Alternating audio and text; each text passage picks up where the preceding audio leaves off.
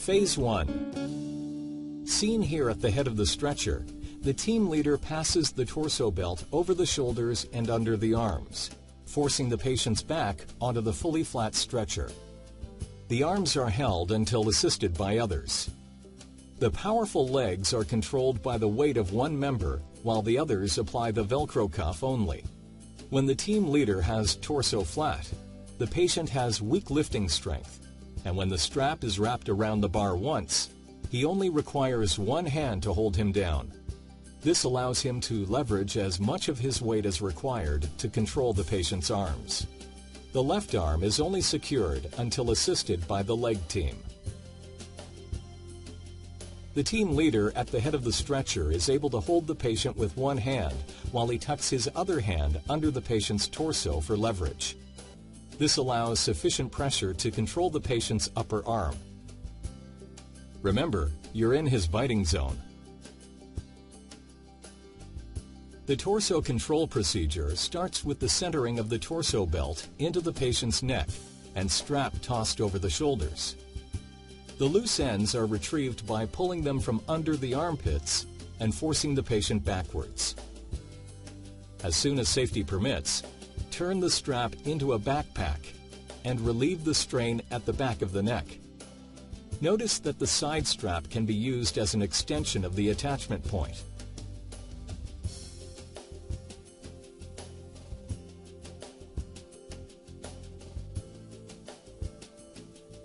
Phase 1 Achievement Very fast, firm, and yet is patient-friendly. Fast. Get staff and patient separated quickly using split-second Velcro cuffs and keep staff safe from head attacks. Firm. To keep patient flat on stretcher with only partial limb movement. Each gentle cuff holds 450 pounds. The tapered grip prevents any slide out a common fault with most restraints.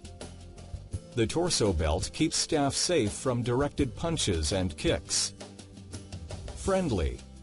A street fight is most dangerous to the patient, and isolating him into inanimate restraints is the safest procedure. The evenly distributed cuffs have no tight spots to cut off blood flow. Legs are not forced apart to prevent panic in sexually abused patients torso control strap prevents him from sitting up and tipping the stretcher while he is attached. Without lifting strength, there is little pressure in the shoulders. Chest is kept open and assists him in breathing and prevents positional asphyxia. Second phase of crisis restraining. The first stage of crisis restraining is to ensure that the patient is struggling against inanimate objects such as restraints and not against staff. Speed is paramount. Second phase, if required, focuses on making the patient totally secure but comfortable. With assistance, the cuffs are adjusted for optimal cuff contact. Objects are removed from beneath the cuff. Note that the patient can still strike outward to stop this, the security strap is passed over the cuff and through the opposite buckle. These straps are then passed over the patient's stomach and joined together. This prevents outward limb movement and stops the thrashing. For quick release, pull on one strap to release the pressure under the button before releasing with the key.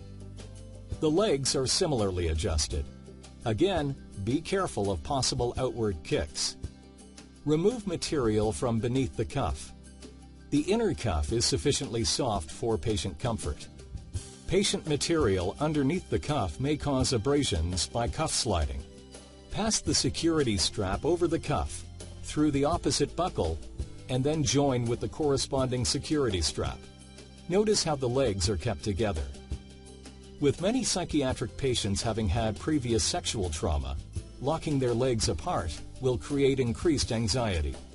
The limb belts are sufficiently long and adjustable to allow a patient to be side positioned and prevent ingesting vomit, yet secured fully at the limbs. Any vomiting should be cleared to the side. Phase 2 Achievements This increased restraining may be required with very violent patients. There is no rush for this procedure, and all options should be considered. It is firm, makes fast adjustments, but also patient-friendly with staff flexibility to increase, but more importantly, decrease restraints.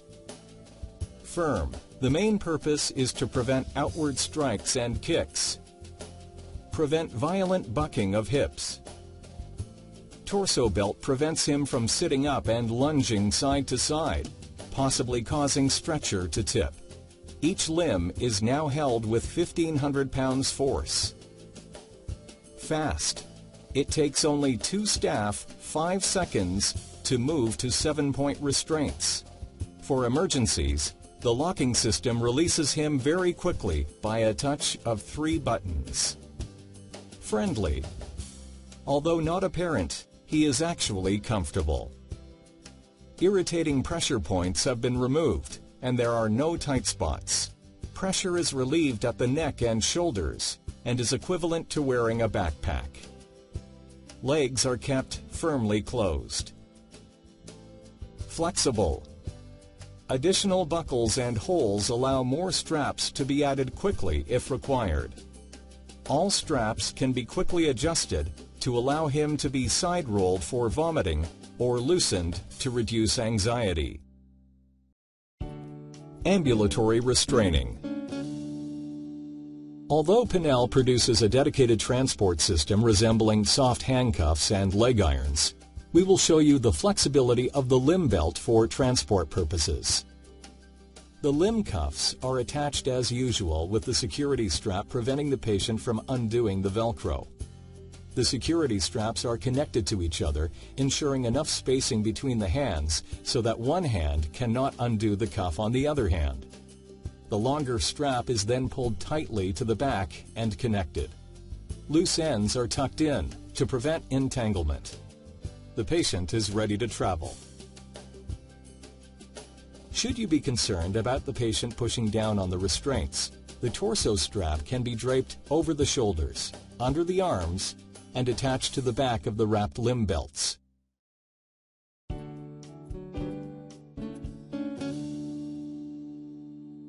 This travel restraint is easier to apply for a patient on a stretcher where the limbs are already secured.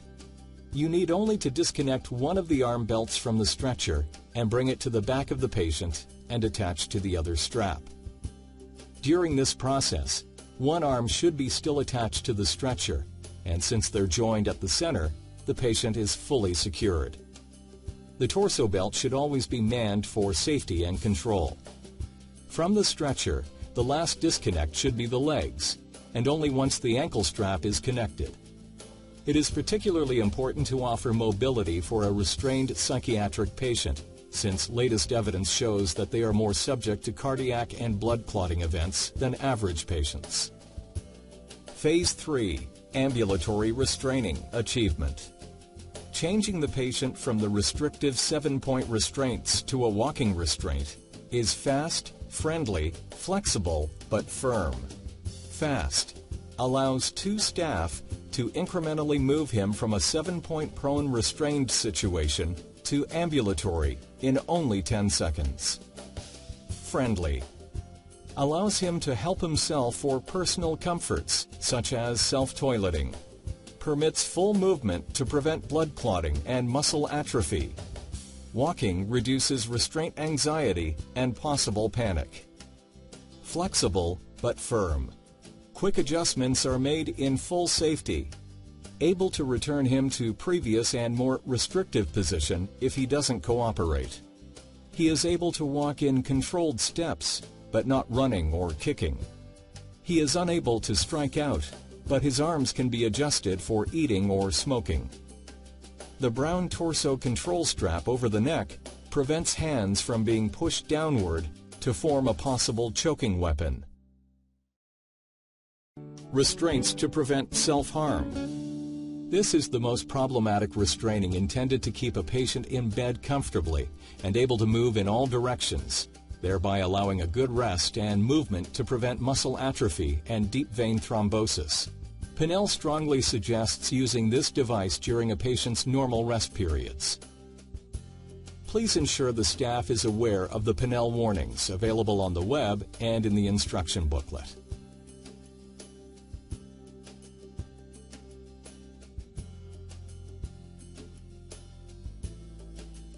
The attachment straps are tightly placed on a solid, non-movable portion of the bed or stretcher.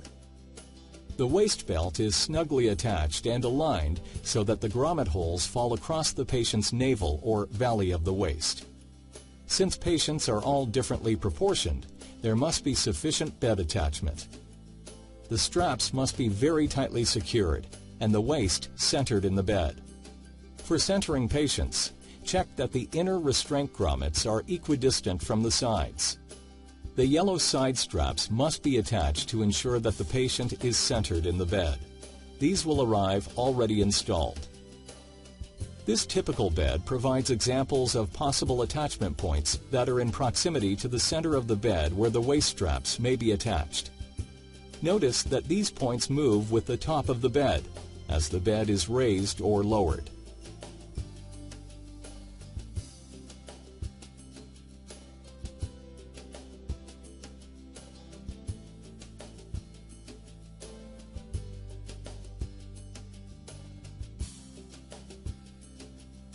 This attachment does present problems if the bed is lowered, resulting in slack belts, always a potential hazard in restraints. If this point is used, the bed should be at its lowest position. This other attachment point will be used for our demonstration. The yellow side straps should always be tightened into the buckles of the waist belt that allow a patient to roll only a certain distance but it will only prevent direct rollovers to the side of the bed. With some effort, Pinel's side straps are removable, but will arrive already secured into the buckles. The V-buckling method is self-tightening that prevents accidental removal.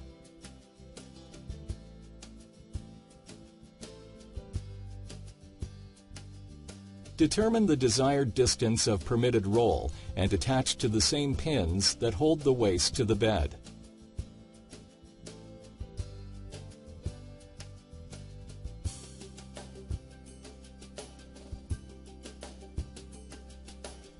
These lateral straps may also be used either to position a patient on his side or prevent a patient from rolling over on an injured side. A unique but very important Pinel item, the pelvic strap, is intended to stop the upward movement of the waist belt over the thorax where possible asphyxiation could occur.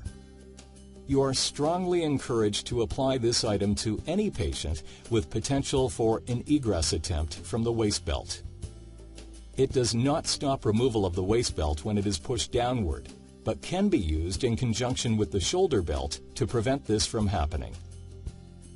The loop is passed upward between the bed and the belt.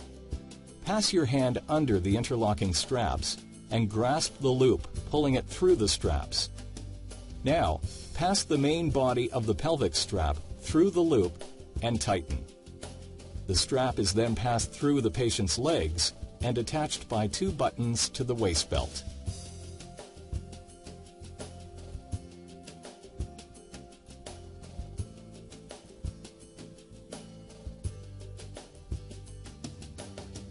Here, the normal waist belt is attached to a patient using two locking pins and buttons. Notice that we're folding the belt over twice to give a firmer hold in the patient's waist. Recheck for a snug fit after a few minutes of movement inside the belt or when the bed is raised and readjusted. Pinel never suggests having a loose belt, such as allowing passage of a hand between the belt and the patient. Loose belts never stay in that position, and it's during travel that they become hazardous. Notice that the patient is able to make full rolls and that the lateral straps are preventing a further rollover. Here, the pelvic strap is attached to a patient's waist belt using the two buttons. We recommend leaving a 1-inch space between the crotch and the strap to allow for rotation and preventing irritation in this sensitive area.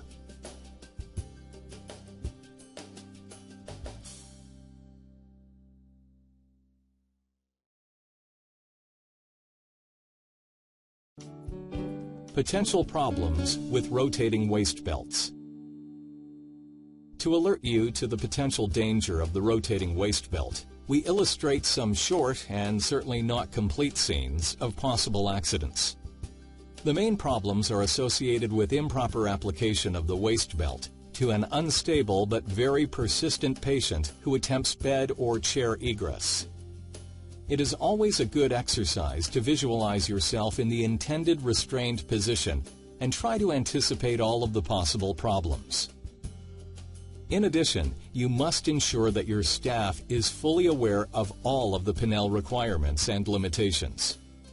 This bed checklist should help in the learning process, and we encourage novice staff to use it during their introduction. In the following scenarios, all the recommendations suggested by authorities are followed. Belt loose enough for a hand to pass. Lateral straps attached and bed rails up and blocked. In this case, the patient attempts a frequent strategy of a downward escape, forcing up the waist belt over the thorax. Egress target is gap at the foot of the bed. When she cannot, she rotates within the belt and throws her legs over the railing into a fatal position. Helicoptering is an unreasonable rotation in bed in a circular motion by a confused patient. During the rotation and the rails up, the interlocking straps that hold the top of the waist belt with the bottom become entangled with the lateral straps and tighten with each rotation. If the belt is located above the thorax, this continued movement will asphyxiate the patient. The lateral straps could be tightened to prevent rotation, or limb straps could be attached. However, both methods would make her immensely uncomfortable. She would need to stay face up without being able to roll from side to side, making the rotating waist belt useless. By far, the most dangerous egress is through the gap in a split rail because it is in the patient's line of sight. Lateral straps only guard against direct rollovers, and with any twisting direction, the lateral straps become ineffective. Do not restrain in this type of bed, but if you need to, use the Pinel gap cover. Any other entrapment space, such as end of bed gaps, should also be blocked. Pinel encourages the use of the simple pelvic strap to prevent the previous problems. It is based on the simplest of concepts, the baby high chair. It stops any movement downwards or prevents the waist belt from moving upward into the danger zone. It also stops possible helicoptering. Of course, it alone does not stop all possible accidents. For example, should you make a mistake by leaving off a gap cover, this clip shows that the pelvic strap is still a highly protective item. Please note that this setup is prohibited. It is necessary for you to assess the patient and his restraint environment and use your wildest imagination to determine how he or she could possibly get into difficulty. Then, use whatever Pinel equipment you have to prevent that potential problem. But here is your dilemma. You are also trying to keep the patient as comfortable as possible and minimize restraint use.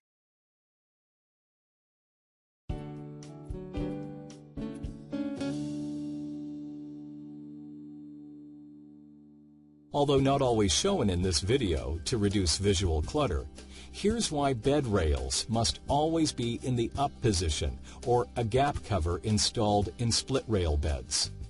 The gap in split rails is a tempting escape route and lateral straps will not prevent an accident.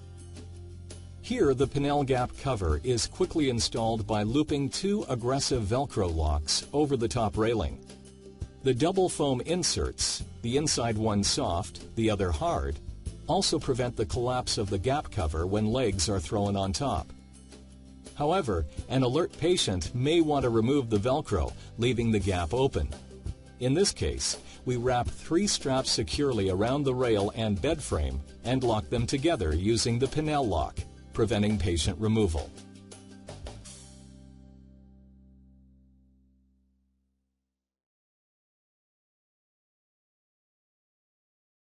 The shoulder strap is still used to prevent the waist belt from being pushed downward and off the patient. Of course, with bed rails in the up position, an escape from the waist belt inside the bed means that a patient must negotiate this barrier. Begin by laying the green trimmed belt behind the patient with the X in the small of the back and the green pockets facing upward. Pass the long straps through the black loops. These are intended to eventually pass under the armpits. Now, lay the other straps that were pointing towards the head of the bed over the patient's shoulders. Bring these straps down and connect them onto one or two of the pins that hold the waist belt together. Take the patient's right remaining strap and pass it through the pockets of the shoulder strap as close to the armpit as possible.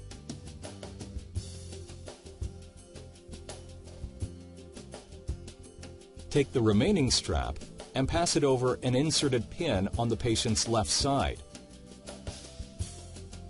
The other right strap now joins this strap on top of the pin. Ensure snug connections. Patient should feel snug and secure, not uncomfortable.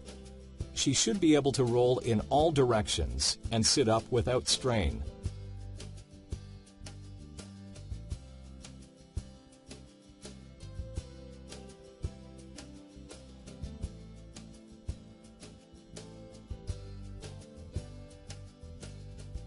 If necessary, to prevent the movement of the waist belt either up or down, use both the pelvic and shoulder belts. Both are connected to the waist belt with two pins that were inserted for the pelvic strap. Partial limb restraining. The limb belt is also useful with an aggressive dementia patient to prevent strikes or scratching, tube pulling, or self-damaging injuries. The cuff is placed on the patient and secured to prevent the cuff from being pulled off.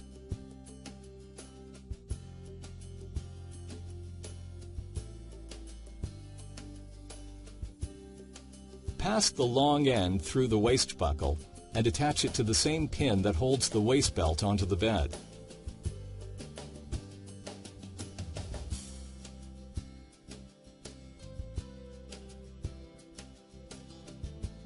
The amount of arm movement can be delicately controlled to suit the situation. In this case, the patient is able to use her hands and fingers to make herself comfortable. Unlike gloves, she has the ability to manipulate her hands and fingers for self-feeding or grooming. Yet by controlling the distance of arm travel, she is unable to remove an IV or cause other self-injury. In addition, she is able to turn in bed in all directions for a proper rest.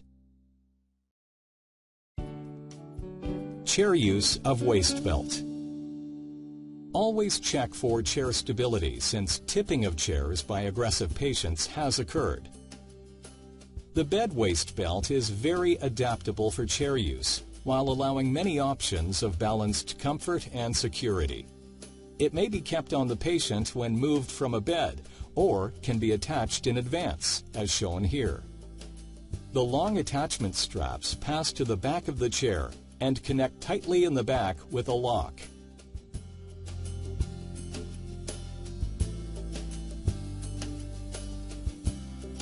If there is a possibility that the patient is able to work the waist belt up and over the back of the chair, Loop one of the attachment straps around a solid chair member to prevent upward movement. Secure the belt around the waist snugly. This is a very comfortable seating arrangement and permits a lot of movement within the chair, thereby providing long-term comfort.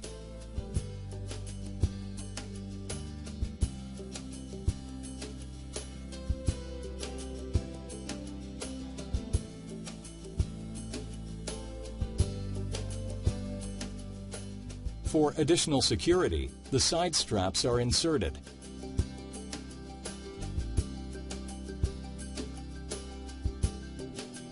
and pulled behind the chair and locked.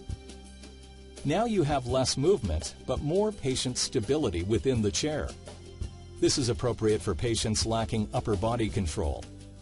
If further upper body control is required, use other Pinel items such as the torso or shoulder belt. The ultimate in chair safety is to prevent downward sliding. The side strap is buckled to one of the attachment straps at the back of the chair, and joined straps are passed under the chair, between the patient's legs, tightly pulled, and attached to the pin holding the waist flaps together. The yellow strap prevents the patient from sliding off the end of the chair. Ensure that a dexterous patient is not able to work a leg between the side strap and the waist. In this case, use a pelvic strap. Now, let's recap the benefits. The waist belt, while in the chair, gives comfort and safety and suitable flexibility. Comfort. She is able to move about freely in the chair, and movement is restricted only as required. Even with this restrictive strap between her legs, she is still very comfortable. Safety is provided by ensuring no downward sliding beyond the edge of the chair, not unlike a baby's high chair, allowing firmness and upper body control in the chair as required. Flexibility. Adjustment, release, or additions can be made with the touch of a button. Other items can be added for more personal safety. Torso strap for upper body control. Limb belts to prevent striking or self-injury. Remember, use the pelvic strap if her dexterity allows her to move her leg between the waist belt and this yellow strap. The above options provide endless positions that match a patient's restraint requirements of balancing comfort with unquestionable security. Patient Protector The Patient Protector is only a safety belt that allows full movement in bed but secures a patient in bed. It attaches to the bed the same as a waist belt, but since self-opening, it is not a restraint. The waist flaps are held together by an aggressive Velcro. A cover is placed over the rough surface of any exposed Velcro for patient comfort.